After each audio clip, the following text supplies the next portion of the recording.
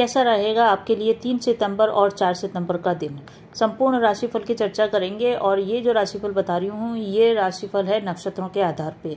क्योंकि जिस नक्षत्र में चंद्रमा जाते हैं, उसी नक्षत्र के हिसाब से फल देते हैं, उसी नक्षत्र के हिसाब से हम उपाय करते हैं। एक राशि के अंदर तीन नक्षत्र आते हैं, इसीलिए नक्षत्रों के आधार पर जो भविष्यवाणी होती है, वो काफ़ी सटीक होती है। अब हम बात करते हैं सबसे पहले मेष राशि की। मेष राशि वालों के लिए चंद्रमा का गोचर देखा जाए तो इनके चंद्रमा का गोचर हो रहा है इनके पाँचवें घर के अंदर, क्योंकि सिंह राशि में चंद्रमा चलेंगे तीन तारीख को और चार तारीख को जाएँगे ये कन्या राशि में। तो पाँचवें घर में और छठे घर में आपके चंद्रमा का गोचर हो रहा है। शिक्षा से संबंधित कार्य, कोई भी महत्वपूर्ण कार्य आप पाँचवें घर के चंद्रमा से कर सकते हैं। इस समय आपके घर का माहौल को आप हल्का रखें, घर में किसी भी प्रकार की शक्ति नहीं रखें। संतान भाव होता है पाँचवें घर का, इसीलिए संतान के साथ परिवार में किसी भी प्रकार की शक्ति न करें। अपने रिश्तों को संभालें, रिश्तों में मधुरता लाएँ, क्योंकि रिश्तों में अगर आपने संतान से संबंधित रूखापन लाए तो थोड़ा सा पारिवारिक वातावरण तनावपूर्ण रह सकता है। यही यही जो घर है आपका लव रिलेशनशिप का भी यही घर है पांचवा घर। यहाँ पे भी तीन तारीख को आपको सावधान रहना है। अपने जीवन साथी के ऊपर, अपने वैवाहिक पार्टनर पे और अपने लव पार्टनर के साथ रिश्तों की मजबूती के ऊपर ध्यान दें। पार्टनर आपको काफ़ी सहयोग करेगा, आपको काफ़ी समर्थन देगा तो अपने जीवन साथी पे विश्वास बनाए रखें, शक न करें। इसके बाद ये चंद्रमा चले जाएँगे आपके चार तारीख को छठे घर के अंदर और वो भी सूर्य के नक्षत्र में। जब भी चंद्रमा सूर्य के नक्षत्र में जाते हैं तो थोड़ा सा आपको अपने पिता के स्वास्थ्य का भी ध्यान रखना है और पिता के साथ तालमेल बना के चलना है। जितना ज़्यादा आप अपने पिता की सेवा करेंगे, पिता को प्रणाम करके अपने कार्य की स्टार्टिंग करेंगे, आपके लिए बढ़िया रहेगा। पाँच तारीख, तीन तारीख को काफ़ी क्रिएटिव रहेंगे क्रिएटिविटी से आपको लाभ मिलेगा और कुल मिला के कोई भी नया और यूनिक आइडिया आपके दिमाग में आएगा और उस आइडिया के ऊपर आप काम करेंगे। पड़ोसियों से भी अपने संबंध संभाल के चले, वहाँ पर थोड़ी सी प्रॉब्लम आ सकती है। जो लोग जॉब में हैं, उनके लिए पाँच तारीख का, चार तारीख का दिन बहुत अच्छा है, जब चंद्रमा चलेंगे छठे घर में। कोई भी कंपटीशन का एग्ज़ाम स्टूडेंट्स दे रहे हैं तो पाँच छठे घर का चंद्रमा चार तारीख को श्रेष्ठ परिणाम आपको देगा।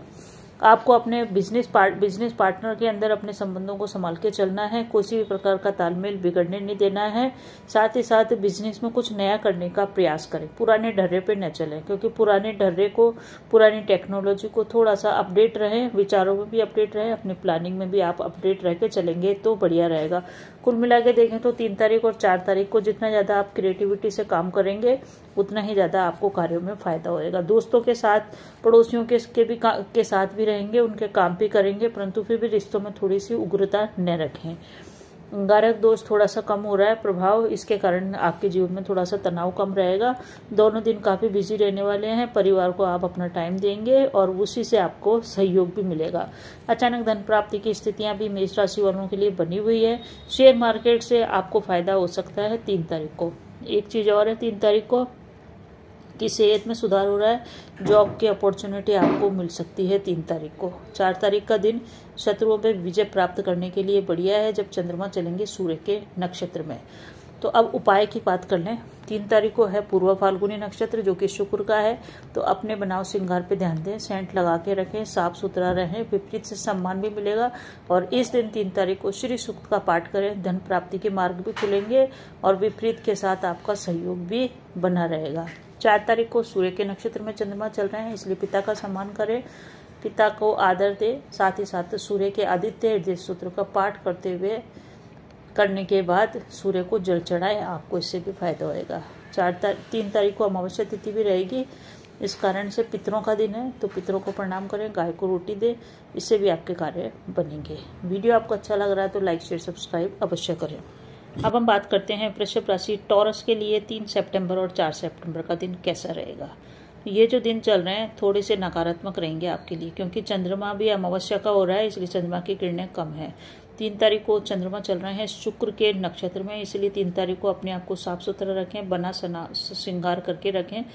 इससे आपको विपरीत से सम्मान मिलेगा, विपरीत से धन की प्राप्ति और सहयोग भी होगा। साथ ही साथ श्री सूक्त का पाठ करके दिन की शुरुआत करें।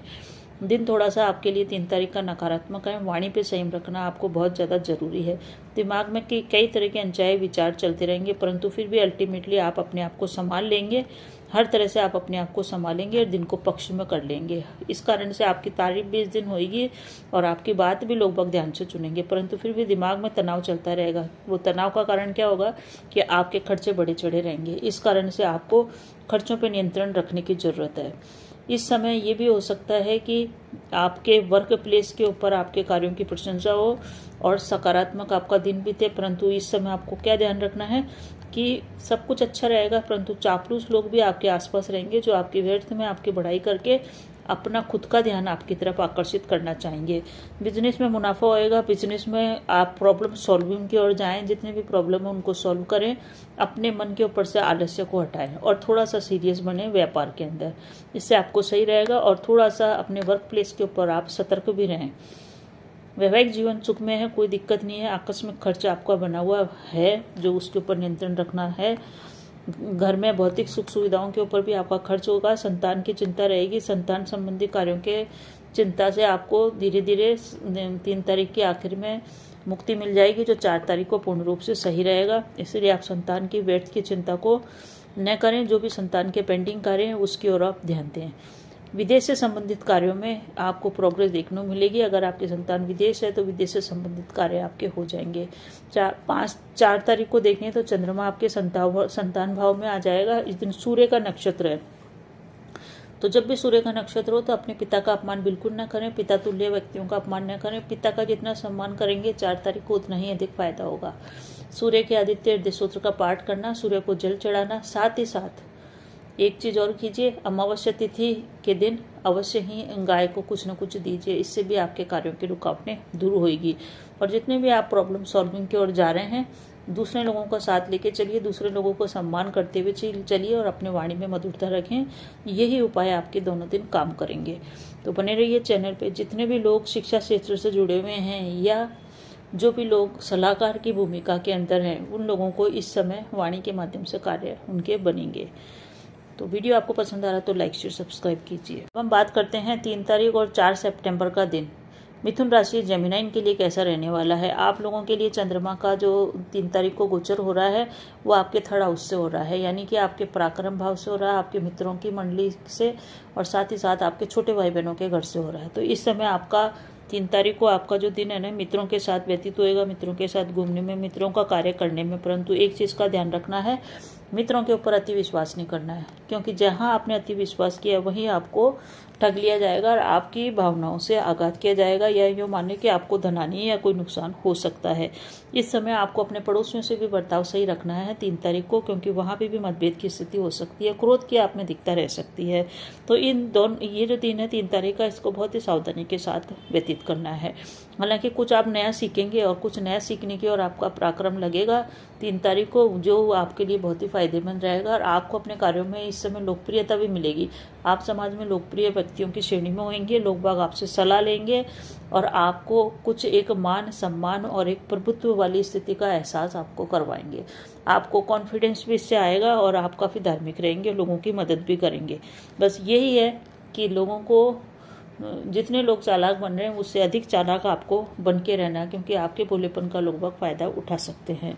स्टूडेंट्स के लिए सफलता वाला दिन है, तीन तारीख को बहुत ज़बरदस्त सफलता उनको मिल सकती है। कंपटीशन का एग्ज़ाम है तो भी सफलता मिल सकती है।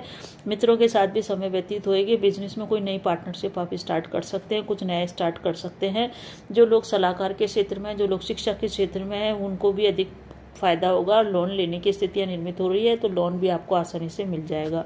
जॉब के अंदर भी कोई नया प्रस्ताव आपको मिल सकता है और अधिकारी आपसे प्रसन्न रहेंगे। बहुत से लोग, जो लोग अभी तक सिंगल हैं, उनका कोई नया प्रेम प्रसंग तीन तारीख को स्टार्ट हो सकता है और संबंधों में उनको काफ़ी विपरीत के प्रति उत्सुकता भी रहेगी। कारण इसका यही है कि तीन तारीख को चंद्रमा चल रहे हैं उत्तरा फाल्गु पूर्वा फाल्गुनी नक्षत्र में, जो कि है शुक्र का। तो सभी मनुष्य जातियों के ऊपर इसका प्रभाव पड़ता है जब चंद्रमा चलते हैं शुक्र के नक्षत्र में। तो शुक्र के नक्षत्र में चलते हुए चंद्रमा यानी कि शुक्र यानी कि स्त्री, शुक्र यानी कि धन सुख यानी, शुक्र यानी कि सुख। सुखी और शुक्र का मतलब होता है लग्जरी लाइफ भोग विलास ऐश्वर्य। तो ये ऐसे नक्षत्रों के अंदर चल रहे हैं, चंद्रमा तीन तारीख को। इस कारण से विपरीत से सहयोग, विपरीत से समर्थन और विपरीत का आकर्षण प्राप्त करने के लिए आपको शुक्र के उपाय करने हैं। शुक्र का पहला उपाय क्या है? अपने आप को सेंट लगा के रखें, अपने आप को साफ़ सुथरा रखें, अपने आप को प्रसन्न चित्त रखें, विपरीत का सम्मान करें। ये सबसे प्रैक्टिकल उपाय है जो कि काम करता है। इसको करें और अगर आपको धन के का दल की लालसा है, धन की कामना है कार है धन के कारण रुक रहे हैं तो श्री सूक्त का पाठ करें। ये तीन तारीख का उपाय है। चार तारीख का दिन भी आपके लिए बढ़िया है। जब चंद्रमा चलेंगे, सूर्य के नक्षत्र में। सूर्य हमारे जीवन में शासन प्रशासन का कारक है। और शासन प्रशासन का कारक होने के कारण ही सूर्य सरकारी नौकरी का भी कारक है शासन प्रशासन का कारक है। जब भी चंद्रमा सूर्य के नक्षत्र में चलता है तो सरकार से रिलेटेड कार्य जितने भी है, सरकारी टेंडर है, सरकार से रिलेटेड कार्य है, उनको संपन्न करने के लिए दिन बढ़िया है। तो चार तारीख का दिन, जो भी लोग जॉब से संबंधित कार्य कर रहे हैं, उनके लिए बढ़िया है। कोई आपको जॉब भी मिल सकती है जॉब का कोई प्रस्ताव भी प्राप्त हो सकता है। और ये दिन आपको अपने माता के स्वास्थ्य का ध्यान रखना चाहिए। माता के स्वास्थ्य में भविष्य में थोड़ी सी प्रॉब्लम आ सकती है तो आप अपने अपने माता के स्वास्थ्य का ध्यान रखें। घर परिवार के रिलेटेड घर की सुख सुविधाओं के ऊपर आपका धन खर्च हो या उससे संबंधित प्लानिंग बने, ये भी बिल्कुल संभव है। हंड्रेड परसेंट संभव है कि आप घर के लिए लोन लेने की ओर भी जा सकते हैं और घर का निर्माण के कार्य भी आपके संपन्न हो सकते हैं। इस दिन चार तारीख को पिता का सम्मान करें, क्योंकि पिता के सहयोग के बिना आपके भूमि, भवन, वाहन के कार्य अधूरे ही रहेंगे और आपके चंद्रमा चल रहे हैं भूरी भूमि, भवन, वाहन के घर के अंदर ही। तो इस चीज़ का आप ध्यान रखें। उपाय यही है कि चार तारीख को सूर्य आराधना करें, तीन तारीख को विपरीत का सम्मान करें। धन्यवाद।